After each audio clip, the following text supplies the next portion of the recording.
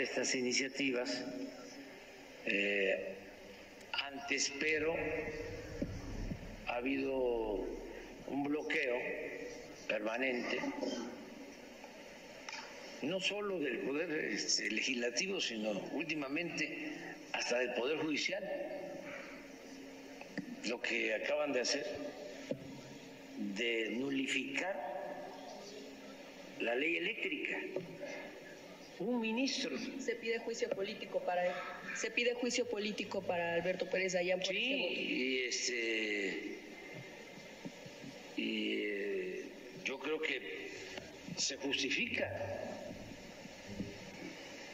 porque pues cómo eh, un interés particular eh, el el que una institución del Estado en vez de servirle al pueblo esté al servicio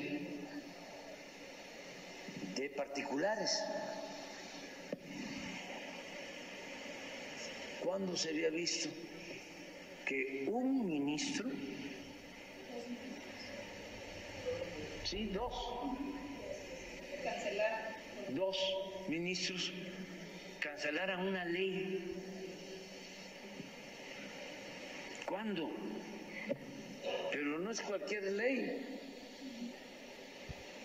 es la que eh, le afecta a los eh,